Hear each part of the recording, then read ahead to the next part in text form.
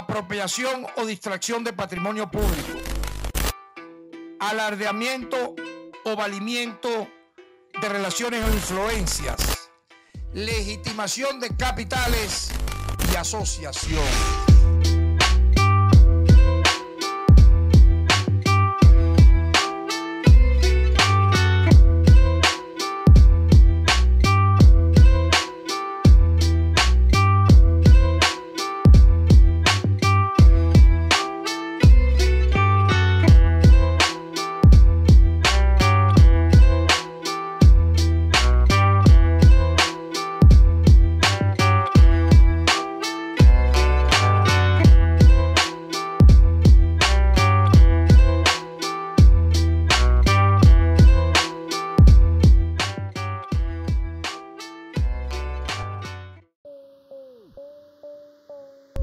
Porque se habla de, la- de lavado, de todo ese tipo de cuestiones. O sea, cómo han levantado todos los edificios y quiénes están detrás.